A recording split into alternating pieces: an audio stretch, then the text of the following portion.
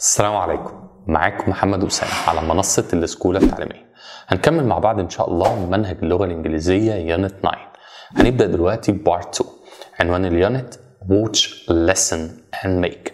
ال unit دوت ال reading بتاعنا بيتكلم فيه على reading سهل قوي النور والأمل أوركسترا فرقة النور والأمل بس لمين بقى؟ for blind girls للبنات المكفوفات.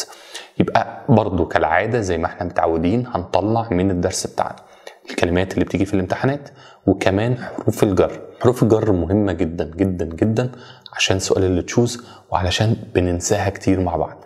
طب ال grammar بتاعنا في ال unit دوت كان بيتكلم الأول في part 1 على ال expressing ability اللي هو التعبير عن القدرة.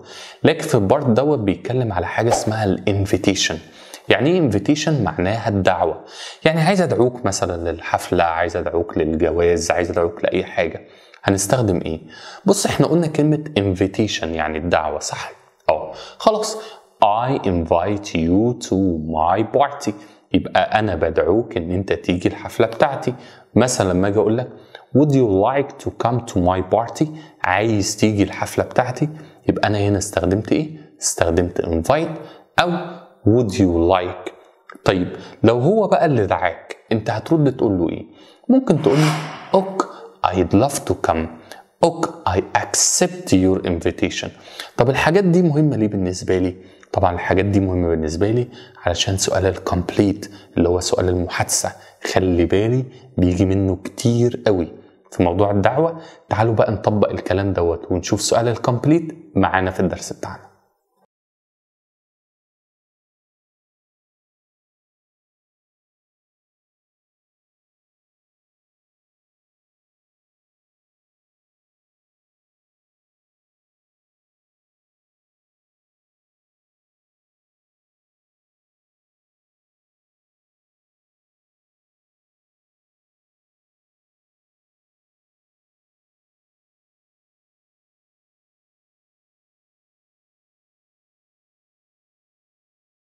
Would like ديت بيجي بعديها to ويجي بعديها الفعل infinitive. لكن like لوحدها هيجي بعديها على طول الفيرب يكون آخره ing. يبقى الفرق would like هيجي بعديها to وبعدين infinitive. الفرق بينهم مش انت مش محتاج له قوي يعني بس ممكن أقولها لك على السريع. لما أجي أقول لك I like playing football يبقى أنا كده بتكلم بصفة عامة يبقى أنا بحب لعب كرة القدم. لكن لما أجي أقول لك I would like to play football معناها إن أنا عايز ألعب دلوقتي. هنا بقى would you like to وبرضو قلنا هيجي بعديها الفعل في المصدر ده لو في السؤال.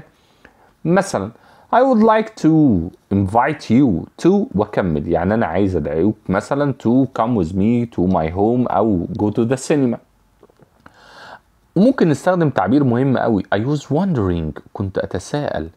If you would like to برضو مش هيفرق معايا عندي would like to هيجي برضو بعديها ثابت الفعل بتاعي في المصدر اهو would you like to play computer games تحب تلعب العاب كمبيوتر I would like to invite you to visit my house اهو would like جه بعديها invite فعل في المصدر I would like to invite you to my birthday party أنا عايز ادعوك لعيد الميلاد بتاعي برضو would like هيجي بعديها to بعدين مصدر قال لك بقى يا سيدي ممكن نستخدم shall في حاجة اسمها ال offer.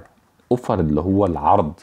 shall I أو shall you أو أي حاجة هتجيب برضو وراها الفعل في المصدر. أو ممكن استخدم will وأجيب وراها فعل في المصدر. وده من استخدامات will اللي إحنا قلناها في أول unit وبرضو هنا would you like حط object وبعديها to وبعدين برضو الفعل في المصدر. أنا كده تقريبا شبه خلصت الجرامر بتاعي. I get you a cup of tea? أجيب لك والله كوباية شاي. ما تتكسفش. عندك شال هنا. حطيت وراها الفعل في المصدر. I will give you a pen if you like. هديك قلم والله لو أنت عايز. ما تقلقش. Would you like me to help you?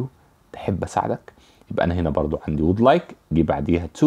وجه بعديها شباب. الفعل في المصدر. وكمان ممكن تستخدم حاجات في ال request request يعني الطلب. إزاي يا مستر؟ أنت بتطلب حاجة من حد. يعني أنت عندي في البيت وجعان. Could you give me sandwich? Could you give me make me sandwich? أي حاجة. يبقى هنا could you برضه هيجي بعديها الفعل في المصدر. مش مهم please. Would you mind if you وبرضه في المصدر. بس خلي بالك بقى. وهنا استخدمت would you mind بس هنا حطيت بعديها ing. يبقى أنا لو عندي if هحط مصدر. لو عندي would you mind من غير فاعل هقوم حاطط ing. I wonder. أسألك كده. If you could برضو حط الفعل في المصدر يا شباب خلي بالي علشان كل ده. هنعوزه كتير في سؤال الكومبليت could you open the door please لو سمحت بس ممكن تفتح الباب. انت عندك هنا could حط وراها مصدر على طول. Do you mind خلي بالك. If subject مصدر. بص بقى هنا. Do you mind بدون subject ing. تفرق معايا كتير. يبقى would you mind هتحط هنا وراها على طول ing نركز مع بعض كويس جدا. تعالوا بقى نتفرج على الكومبليت would you not likes عمالين نقول من بدري. Would you like آه to أيوه كده. هي عندي to بره يبقى أنا الإجابة بتاعتي لازم تكون like. Shall I shall هيجي بعديها. أسمع. Excellent. Bring. فعل في المصدر. Could you closing? لا لا لا. تعالى بس. انت عندك هنا could برضه مصدر. يبقى close. Excellent. Do you mind? قبل ما تجاوب شوف هنا في subject ولا لا. ما عنديش. يبقى الإجابة ing. Switching. Perfect. Super perfect كمان. طيب ناخد درس ال reading بتاعنا. يلا نطلع القلم بتاعنا ونبدأ ال circle ة بتاعتنا. النور والأمل chamber orchestra فرقة النور والأمل. الفرقة دي جميلة قوي. النور والأمل chamber orchestra is at school for blind. في مدرسة للمكفوفين. Blind girls للبنات المكفوفين in Cairo. إيمان بدر is one of the musician. Musician يا ولاد معناها موسيقار أو ملحن بس هي musician موسيقار. إيمان بدر واحدة من الموسيقيين. She is able to قاعدة able to بتاع البارت اللي فات. To play the violin.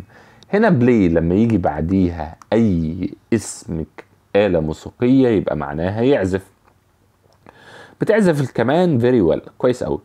She started playing. اكتب عندك على طول start بيجي بعديها ing أو to وبعدين مصدر. الفرق بينهم مش مهم عليك دلوقتي يبقى start ممكن يجي بعديها ing ويجي بعديها to وبعدين في المصدر. وما تقوليش هعرف منين يا مستر ده أو ده. عمره ما هيجيب لك الاتنين مع بعض في اللي تشوز لأن الفرق بينهم مش عندك. She started playing when she was six بدأت تلعب أو تعزف لما كان عندها ست سنين إيمان became blind أصبحت كفيفة when she was two years old لما بقى عندها سنتين she likes playing بص هنا like جت لوحدها يبقى أحط عين جي she likes playing in the orchestra بتحب تلعب في الفرقة الموسيقية because she loves music بتحب المزيكا and being with her friends تحب تلعب تبقى معها أصدقاء recently مؤخرا She visited عمان and France with the orchestra. زارت عمان وفرنسا مع الأوركسترا. I think the orchestra is amazing. أعتقد إن الفرقة ديت جميلة قوي. It must be very difficult to read music with your hands and then remember it. هنا must be معناها أكيد.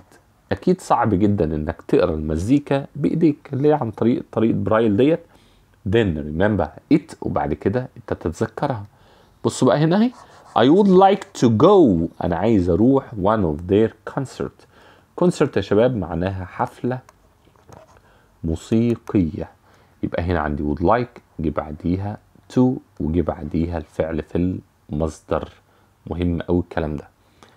Woman ال women السيدات الصغيرات by لويزا ماي ألكوت ميج وبيث وأيمي. الثلاثة دول were sewing. كانوا بيخيطوا when Joe came into the room. لما جو came into معناها دخل. دخل الحجرة with a newspaper ومعاه جريدة. She sat down and started to read it. قعدت كده وبدأت إن هي تبدأ تقرأ فيها. Anything interesting? عندكم أي حاجة شيقة كده؟ Asked Meg oh only a story Joe replied ما عندناش غير قصة what is it called طب اسمها إيه asked Beth she wondered يتساءل wonder معناها يسأل أو يتساءل Why Joe was hiding ليه ماذا كان يختبئ behind the newspaper مخبي نفسه ليه ورا الجريدة It's called the rival painters said Joe اسمها كده rival painters خلي بالي بقى اهي why don't you read it to us? Why don't you ديت معناها شباب لما لا؟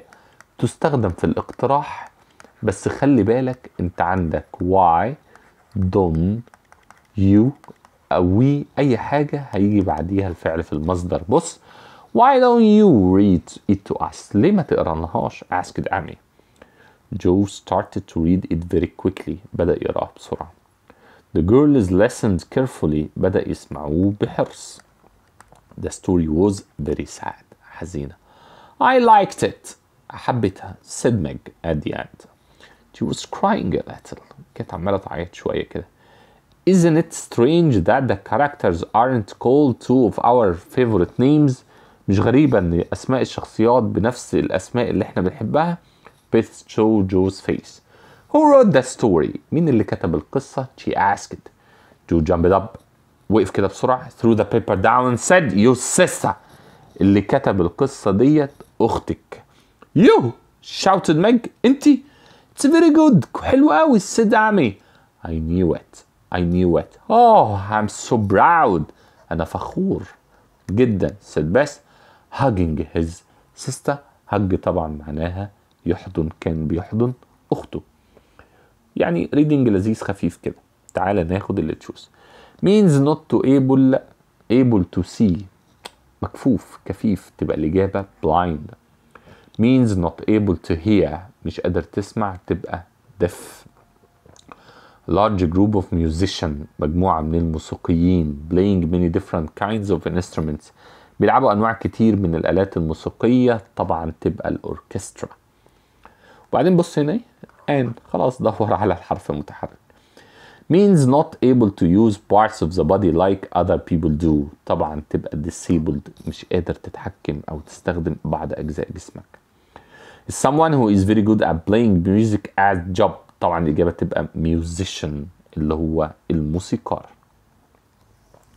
is type of reading for the blind نوع من انواع الكتابه للمكفوفين طبعا طريقه برايل is to put أو to not is to put your arm around someone and hold them tightly to show love تبقى hug huge دي يعني ضخم to produce tears tears معناها دموع تبقى cry to not means to go to a place where you can't be seen يبقى to hide انك تستخبى النور والامل is an عندك an دور على orchestra وانت مغمض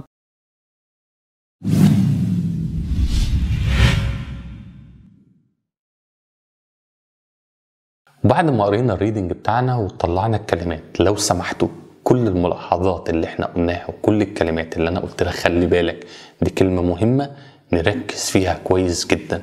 عشان تقدر تحل صح لازم تعمل الخطوات اللي إحنا قلنا عليها بنفس الترتيب وبنفس النظام. وتخلي بالك لأن اللي إحنا بنقول عليه هو ده اللي بيجي في الامتحان. عشان تقدر تحله وانت مطمن وما تنساش. عرفنا إزاي نعمل الانفيتيشن أو نعمل الدعوة بتاعتنا. أشوفكم دايما على خير. السلام عليكم ورحمة الله.